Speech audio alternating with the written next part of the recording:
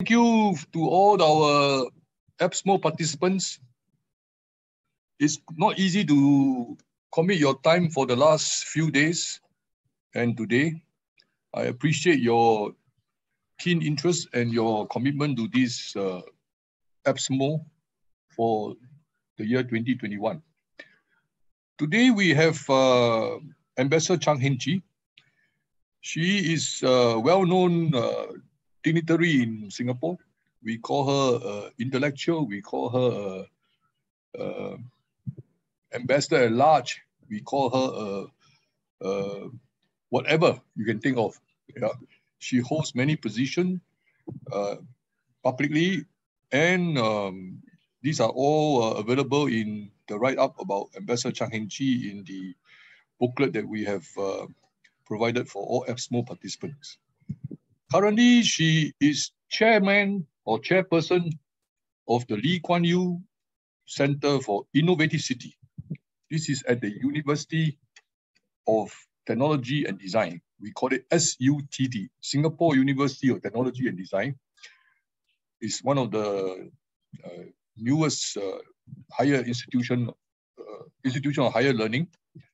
So without further ado, um, she is actually going to speak to us on what we are seeing out there in the uh, regional and international scene. Yeah, in her role as a former ambassador of Singapore to the United States, she is well qualified to talk about uh, United States of America and its external relations.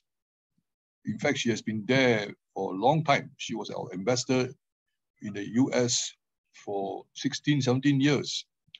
And she is actually the longest serving Singapore ambassador to the United States. On top of that, because of her uh, academic background and her study of the regional and uh, international relations, she is familiar with China, with ASEAN, with almost every country in our Asia Pacific region. Yeah, so she is well qualified to uh, take us through the next uh, 30 to 45 minutes on what she calls Singapore in transition uh, in this uh, current uh, state of international uh, relations globally. So I will now pass the screen to uh, Ambassador Chan Heng Chee. Uh, and then maybe after her verbal presentation, uh, we can take some of the questions from participants of APPSMO. And I hope we can give her the hardest question you can think of. She is, after all, our most esteemed diplomat from Singapore. Ambassador Chan Heng Chee, over to you. Uh, thank you, Keng Yong. Uh, good morning to the distinguished participants. Have Can you hear me? Yeah. Right. Uh, the title of the lecture this morning is Singapore in Transition, Navigating the New Geopolitics and Geoeconomics in the Asia Pacific. I would say that, in fact, all the countries in the region are going through the same transition. Each country in ASEAN will have its own perspective, and I will share Singapore's perspective on the transition with you. Now, there is no way around saying that we face the most volatile and dangerous period today, especially in the second half of the 2021. I believe this because of three drivers pushing this situation. Firstly, the deepening and unrelenting US China rivalry and competition for influence in the region and the world. We in the Asia Pacific or Indo Pacific are going to be caught up with it, like it or not. Secondly, the American withdrawal from Afghanistan has set in motion consequences that will impact the security of the region. And thirdly, the COVID pandemic has devastated our economies and the global economy. How will it impact the geoeconomics of the region? How will it impact on geopolitics? The pandemic has become another arena, of course, for the US China rivalry. And so, how does Singapore, a small country, view all this? And how do we map a path for ourselves in this volatile world? Let me discuss each of these drivers in turn and conclude with what I think small countries and medium sized countries can do. First of all, the deepening US China rivalry. Over the last decade, the rivalry between the United States and China has been sharpening. So you ask your question Is the rivalry between the United States and China inevitable? My answer is yes. When the Soviet Union dissolved in 1992, the next nearest rival for the United States was China. But China was not then a peer rival, especially uh, was not then a peer rival, rival. But with China's economy performing spectacularly, especially after it was admitted into the WTO in 2001, it was a question of time before the United States would regard China as a strategic competitor. While rivalry and competition is inevitable, war is not. Let me recap briefly. During the Cold War, the United States and the Western Alliance focused on the Soviet Union as the main enemy. The Soviet Union was a peer competitor. China, just established as the People's Republic of China, was backward and poor. It was not industrialized. China was a war enemy for the US when it intervened in 1950 in Korea suddenly, pitting themselves against the Americans. But they withdrew back to China in a couple of months. Then China, together with the Soviet Union, was promoting revolution around the world. China supported North Vietnam in, in its war with the US to unify with the South. But by 1968, China was looking to improve its relationship with the United States because of Soviet troops along its borders. Nixon made a historic trip to China in 1972 and detente, as you know, was established. As both powers found strategic congruence against a common foe, the Soviet Union. And in 1979, Deng Xiaoping visited the United States, met with President Carter, becoming the first Chinese paramount leader to visit the United States since 1943. But the warming relationship hit reality with Tiananmen in 1989. Tiananmen reminded the United States that China was a communist regime and authoritarian, and in their view, with little regard for human rights. This episode was soon followed by the beginning of the end of the Cold War. This meant that the United States no longer needed to work with China against the Soviet Union. Nonetheless, I would say the United States followed a bipartisan policy of strategic engagement. Presidents Bush 41, Clinton, Bush 43, and President Obama engaged China. There were ups and downs in the bilateral relationship over human rights and Taiwan. But Americans thought with China entering WTO, signaling and opening up its evolution to a more open system and eventually democracy would follow. Most analysts date the sharply deteriorating relationship with Donald Trump's election in as a 46th president and ascendance of Xi Jinping as president of China. But the deepening of rivalry came early, earlier when the deep economic recession hit the United States in 2008, turning into the global financial crisis. The American economy was in a tailspin. Chinese, China emerged relatively unscathed. Chinese banks were welcomed and going to Wall Street to bid for failing American banks and financial institutions. I was in Washington during this period the loss of self confidence in America was palpable. Even before that, the mood in the heartland was angry and despairing, believing that Asia, especially China, was eating their lunch. Of course, globalization and technological changes had wiped out jobs. Donald Trump turned China bashing into his election campaign message. It was around this time that the United States became aware that China had amassed critical military power, economic power, and political influence to seriously challenge the United States. And China under Xi Jinping was more assertive in its foreign policy, proposing initiatives like AIIB, BRI, and becoming increasingly active in the South China Sea, changing facts on the ground and in the East China Sea. And across strategic circles in the United States, China was now regarded as peer competitor of the, of the United States. Now, President Trump is highly competitive and was determined to show the way to deal with China was to play hardball. He raised tariffs to a level never before thought possible. And the trade war quickly included an investment war, then a technology war. In fact, the belief in the United States and in China is that the struggle for leadership and supremacy lies in technology. Threats of decoupling of the tech sector and the economies followed. Now, the Biden administration has surprised many by not changing President Trump's policies on China, but he pursued them more systematically and with coalition building. President Biden added a new dimension to the rivalry, a question of values.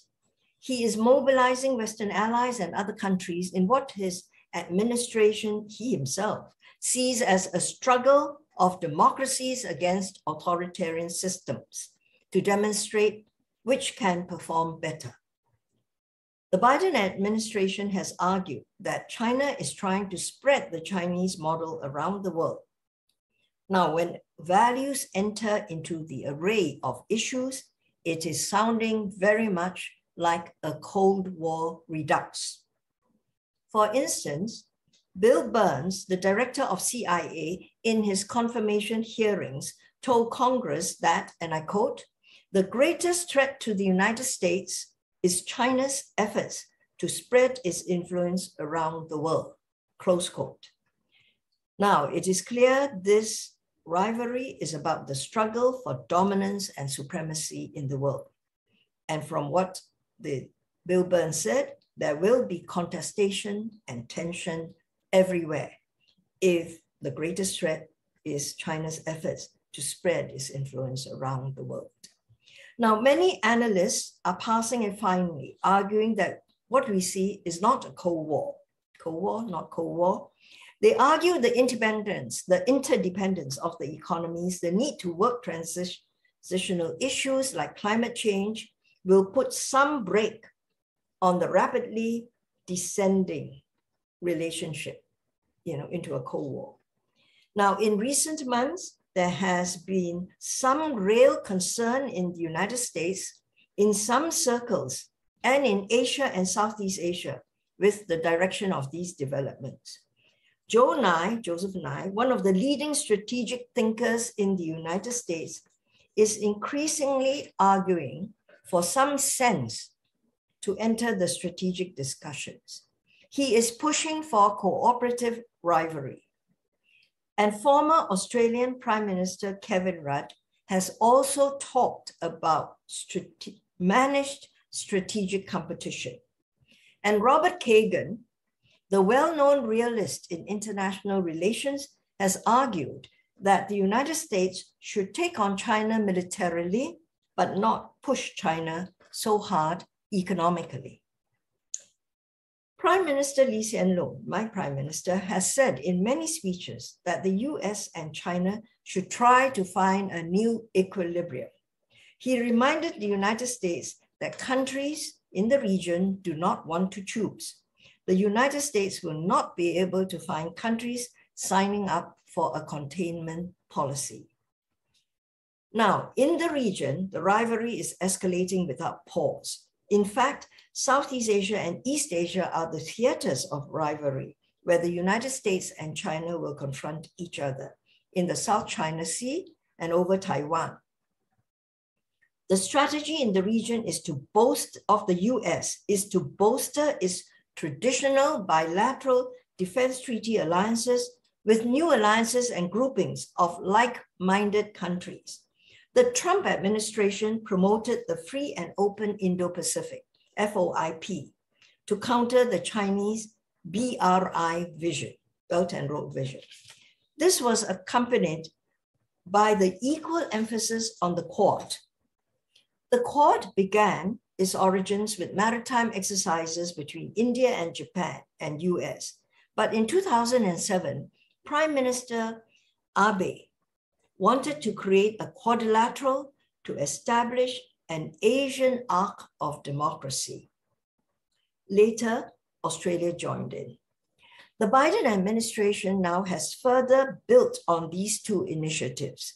The FOIP and Quad are viewed in ASEAN as groupings to contain China and have been slow to respond to their overtures to join or work with them in some ways. ASEAN, feeling the pressure of FOIP, has adopted its own version, the Indonesian Initiative, which is the ASEAN Outlook on the Indo-Pacific, which is a more inclusive vision. Now, with the Biden administration mobilizing its allies to deal with China's challenges, growing challenges, France, Germany, and the Netherlands have come out with their own individual versions of the FOIP, Free and Open Indo-Pacific. And in September 2021, the European Union unveiled its version of the FOIP, taking in all what the other countries said. The, Uni the EU, European Union, clearly does not want to be left out of a dynamic and strategic region where it has cumulative investments. Its statement emphasized cooperation, not confrontation, and seeks multifaceted engagement with China. I quote their words. But it is also interested, the EU, in establishing a rules-based order respecting human rights. Thus, Europe has its own principles, but is more inclusive in its approach. Now, in the November 2020 Quad Foreign Ministers meeting, and this was during President Trump's time, even Australia and India tread carefully by talking of an inclusive region so as not to trigger off further tension with China. This was a meeting in Tokyo. But many developments have taken place since 2020, and Australia found itself under multiple economic sanctions from China, which was seen as economic coercion for calling for an inquiry into the origins of the Wuhan virus. And India had its border clash with China Australia now has also taken tough policies against foreign interference targeted at China in Australian politics. The first Quad summit under Joe Biden, first Quad, but it's the first Quad summit in March 2021 was held, but it did not mention security and military matters and focused on the pandemic and the delivery of public goods, such as vaccines. The second Quad summit, just held in Washington, emphasized cooperation with FOIP, vaccine cooperation, technology cooperation, supply chain security in semiconductors, and combating illegal fishing and raising maritime domain awareness. I believe they've also got a program for exchange of students under STEM education. Now, this Quad meeting in September held just after the United States, United Kingdom, and Australia, three Anglosphere countries announced a security partnership. AUKUS was laden with meaning. Now, AUKUS is really a procurement agreement turned into a security part, partnership, which is the nomenclature they use. but is written up as a security pact with all the fanfare in its introduction.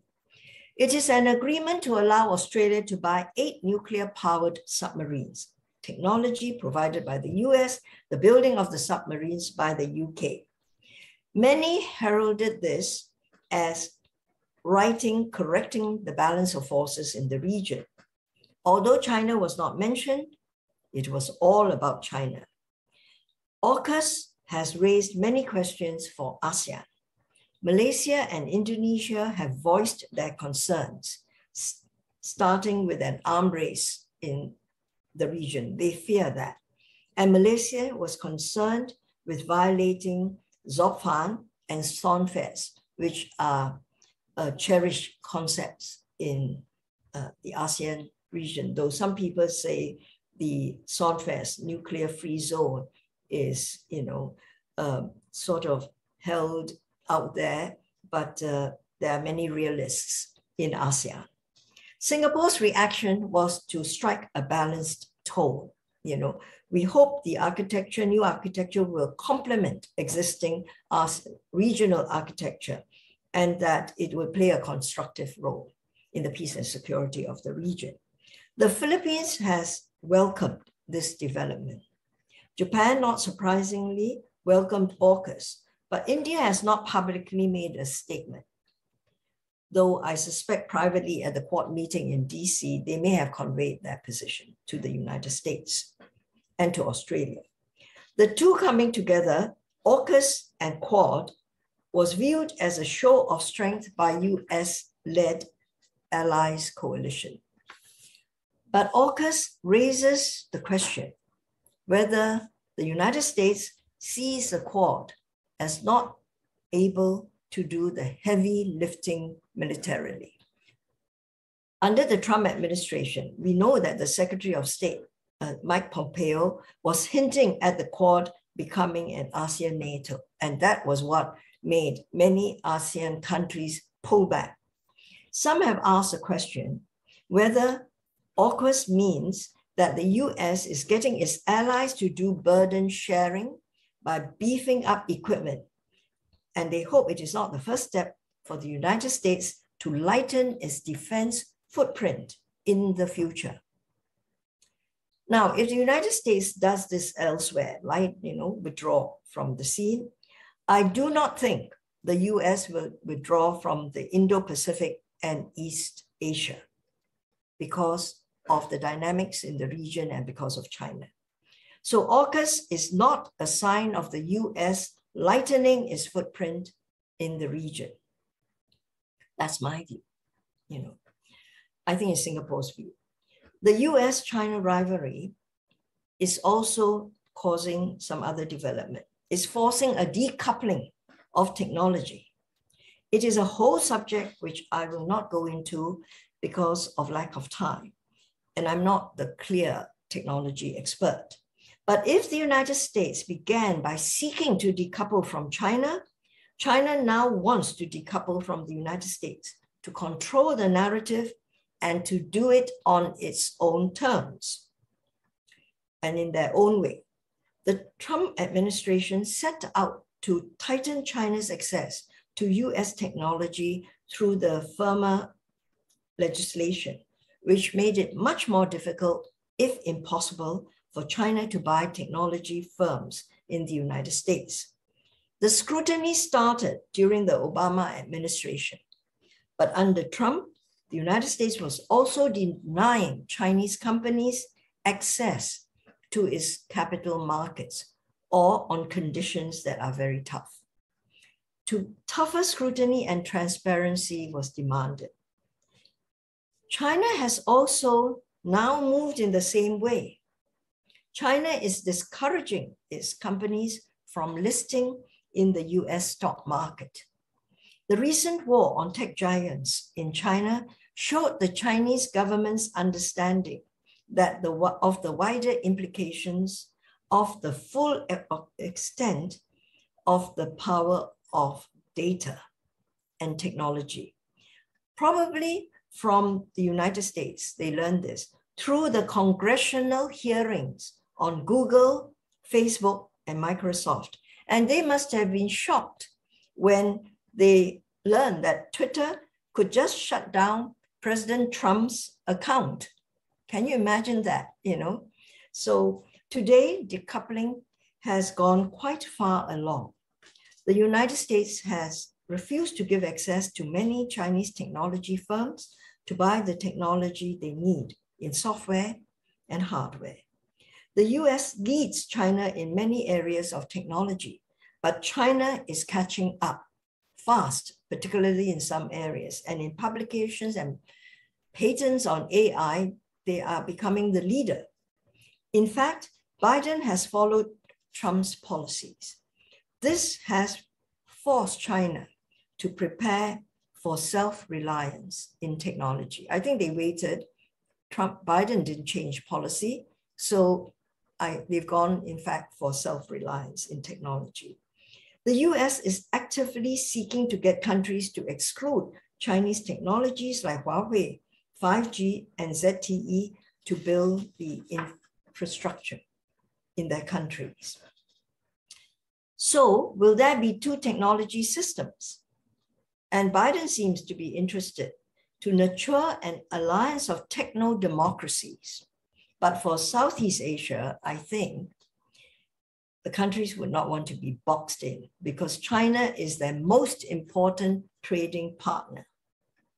So will ASEAN be forced to choose sooner rather than later?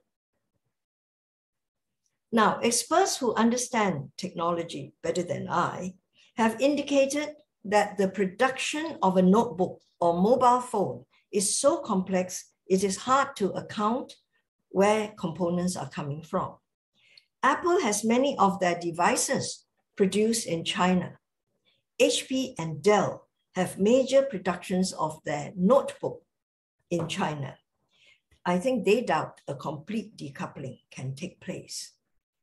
In fact, it is widely known that about 30, some would say 35% of the US semiconductor industry exports go to China. Without the Chinese market, this will weaken the profits of these semiconductor companies and therefore impact on their R&D. But China is now facing up to the need to enhance its semiconductor industry so that they will not be cut off. It is also a fact that China's consumption represents up to 25% of global demand in servers, networking, PC, and smartphone products. And the country's consumption of technology products is increasing twice as fast as the global average. So this is in fact a huge market. The earlier discussion of supply chain had analysts arguing that ASEAN could benefit from the US-China tensions, and that was in 2019, 2020. Indeed, some firms from China, both the United States and Chinese and Japanese, have moved some of their factories out of China to produce in Vietnam and some companies were said to have gone to Malaysia and even Indonesia. But in reality, ASEAN cannot replace China.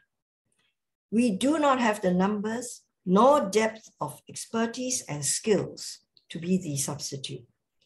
ASEAN also will want to work with both the United States and China, seeking access to both enormous markets. Now, let me talk of the second driver in this whole shaping of the geopolitics and geoeconomics. I will discuss the consequences of US withdrawal from Afghanistan. Now, President Biden made it clear that he was withdrawing from Afghanistan because he wanted to focus on the Indo-Pacific and China. Withdrawal from the forever wars was a decision most Americans support. The country, America, wants the government to turn to creating jobs, building infrastructure, fixing the healthcare system and education, and all the domestic problems that are dividing America now. However, the rapid collapse of the Afghan government and the swift takeover by the Taliban forces, ushering in fear and despair among the people, and havoc at the airport caused reputational damage to the United States. President Biden faced tough criticisms from his NATO allies and Congress, I should say, particularly Congress. Reports suggest more people will have been evacuated, but it is unclear if everyone who should be evacuated has left. American commentators and analysts were the first to suggest that the manner of the US withdrawal severely dented American credibility. Americans said this first. But I would argue that the United States is likely to recover its image. Remember Vietnam in 1975? It took the United States a few years to recover, and it happened first in ASEAN, when it joined forces in ASEAN with ASEAN and China to push back Vietnam after it invaded Cambodia. This was 1979. So from 75 and 79, there was some recouping already. Then there was a first Gulf War that left no doubt among many of the American ability to shock and awe with its military might. After that, the Soviet Union also imploded and the United States established itself as the world's hegemon.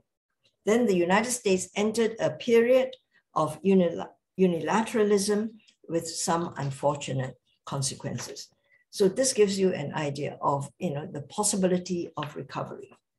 Now, during Vice President Kamala Harris's visit to Singapore, journalists questioned whether the region believed in American commitment after Afghanistan and in its credibility. Prime Minister Lee, my prime minister, answered the question in this way, and I quote him in full.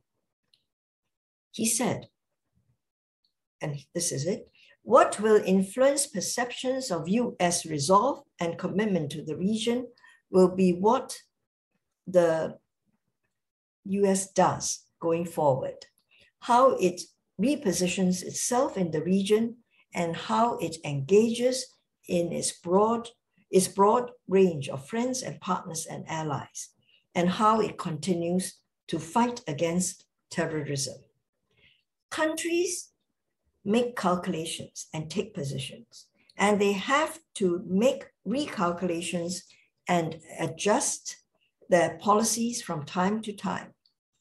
Perhaps it can be, do- be done smoothly. Sometimes there are hiccups. Sometimes things go awry and take time to put right.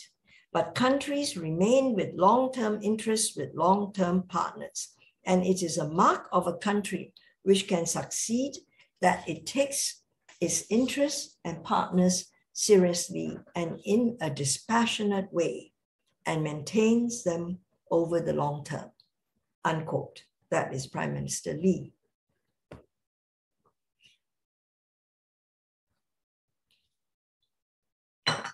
Now, there is one consequence of the new Afghanistan that concerns many in the Asia Pacific. It is feared by analysts that the Taliban victory will embolden terrorists globally. It is a known fact that ISIS-K, ISIS-K is very active in Afghanistan and that the Al-Qaeda are operating with Taliban. the bombing at Kabul airport brought notice to the ISIS-K present, ISIS-K presence. Ali Soufan, the former FBI counterterrorism agent, wrote in Washington Post that, and I quote him, a new, more dangerous phase has begun, unquote. He fears Afghanistan will become a hub for terrorism again. Citing a UN report, he said there are 8,000 to 10,000 foreign fighters in Afghanistan from the Arab world, Central Asia, and Uyghur areas of China. Monitoring of Islamist communications on social media and the chat rooms indicate that groups from Syria and Southeast Asia began redirecting potential recruits to Afghanistan. In Southeast Asia, we have a recent history with the JI, Jemaah Islamiyah, Jemaah Islamiyah, and other terrorist groups. I think governments will be on the alert to spot any rekindling and support from ISIS or AI for militant terrorism in their countries, and intelligence cooperation will be crucial, including assistance from the United States. The question is whether the United States will be able to focus its attention to deal with the challenges of China and Russia, as the Biden administration hopes to.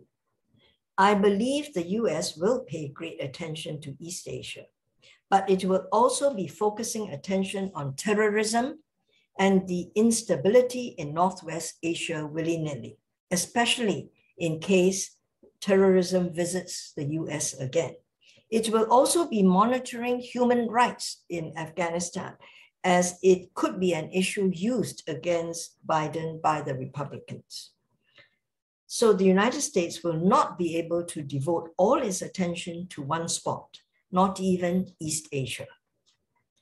Now, how will Afghanistan impact on India? India is a member of the Quad and is interested in managing the rise of China. India has always looked west to Kashmir, Pakistan, and Afghanistan. if it has embraced the Quad and is looking east, it is because of its clash with China over its border. the rise of the Taliban in Afghanistan will once again force India to look west. It will be concerned with terrorism, encouraged in their view by Pakistan and the Taliban. And they fear this in Kashmir. They also fear terrorism in India. India will not want to concede influence in Afghanistan to Pakistan. In fact, for the free and open Indo Pacific, my expectation is that India will be more focused on Indo than Pacific. Now, will China and Russia be able to step into the vacuum left by the US after withdrawal after Afghanistan, Pakistan, and in Central Asia?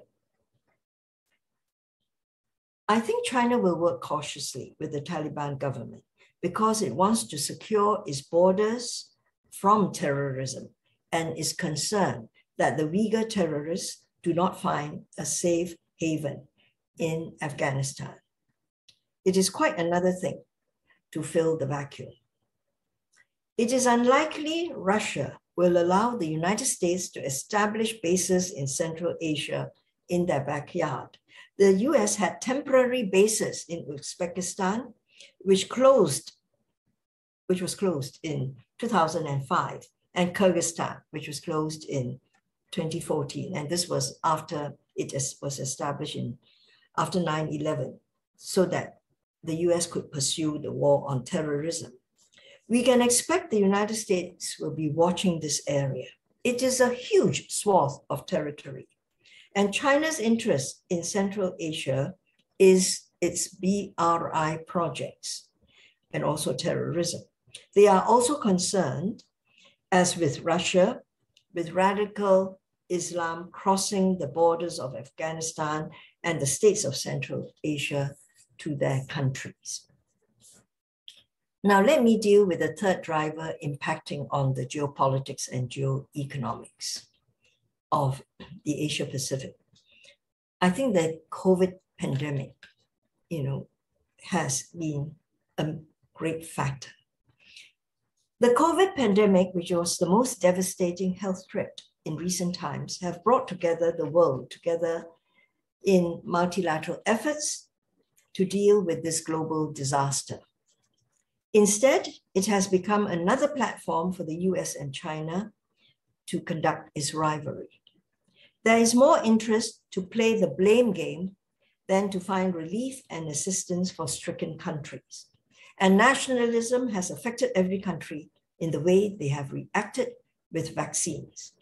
In 2020, it was clear that China emerged as the competent government, able to get the virus under control and manage the economic recovery. In 2020, China reported a growth rate of 2.3%, according to the World Bank, compared to other countries which were reporting negative growth.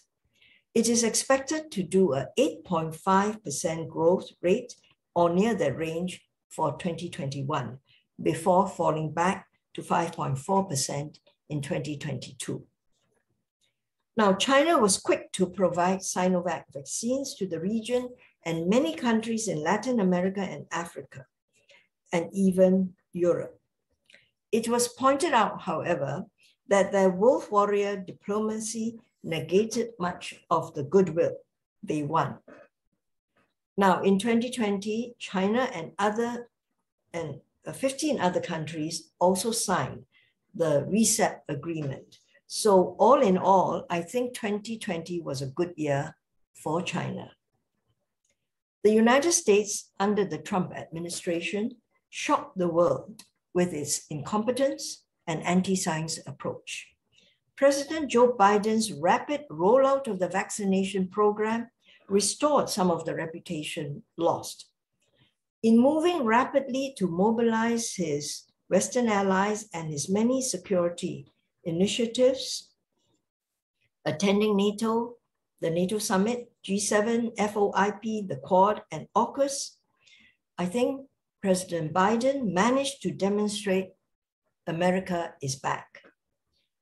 And it has been noted that President Trump pulled the US out of CPTPP, and the Biden administration has not made moves to rejoin nor come to the region with any trade or economic initiatives. In fact, Katherine Tai, is USTR, just made a big speech on trade at CSIS. And you know there was a lot of disappointment all around because uh, nothing much was said about trade, except that they will renegotiate the trade one. Uh, you know, they will see to the implementation of the phase one trade of the earlier uh, deal that the Trump administration had negotiated. Now, for the US and its allies, deterrence is seen largely in military terms. But while military aspects are necessary, they are not sufficient to win strong support from the region, the region of Southeast Asia generally, and even some parts of Northeast Asia. The region is clearly looking for trade and investment to follow. And that is not coming anytime fast, though the United States says is once it's finished its review on China, it, it will in fact start making its moves. And of course, now China has put in its application for CPTPP. So let me now ask the question, how is Singapore positioning itself in this great power rivalry? Singapore, like many ASEAN countries, does not want to choose. But is that possible? It is getting harder and harder, as many have said. We continue to be even handed when dealing with both the United States and China. And this was seen just this year. We welcomed US Secretary of Defense uh, Lloyd Austin in July. Vice President Kamala Harris visited us in August, and Chinese Foreign Minister Wang Yi paid an official visit a couple of weeks ago to Singapore. And we have welcomed China's application to CPTPP. In fact, for a long time, Singapore leaders have in public forums mentioned this, that it would be good if China, if China chooses to uh, join CPTPP, CPTPP, Singapore would support this move. And Singapore leaders have in public forums urged both powers to find a new equilibrium. But we still do not want to choose. We believe many small and medium-sized countries feel the same. They have to find a new equilibrium, and Singapore has suggested that there would be a necessary adjustment that has to be made to the new power. And Prime Minister Lee at the Shangri-La Dialogue in 2019 said, and the United States being the largest country of all has to make the most adjustment. Now, if there were to emerge a number of countries who argue they would like to remain in the third space, not choosing, not having to choose. And this group is not institutionalized, not pushing an agenda, but all seeking to act according to their own sovereign interests. I think they could create for themselves an important maneuvering space. Singapore has not articulated this, but I believe this is how we see this going forward. Thank you.